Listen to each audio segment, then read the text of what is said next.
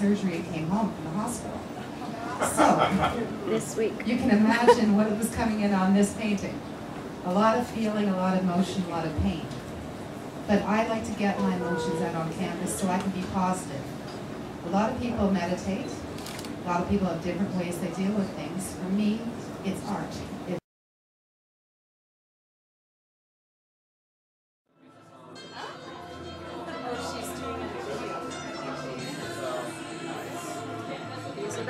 are for auction.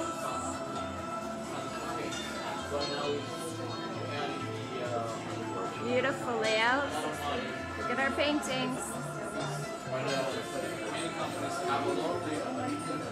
That one's called Exposed. That one's called Menage.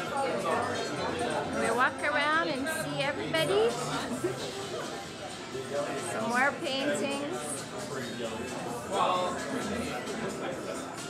Some favorites.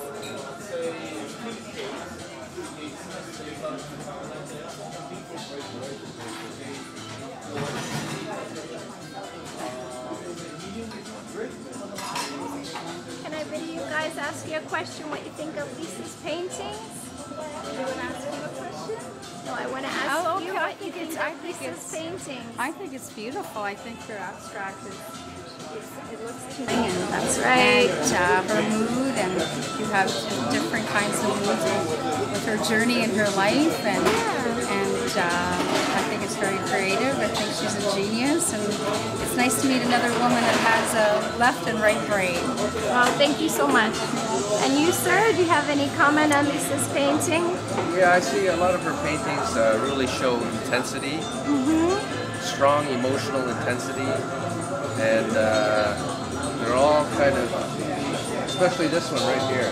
This really shows the power of conflict. It does. Yes, my God.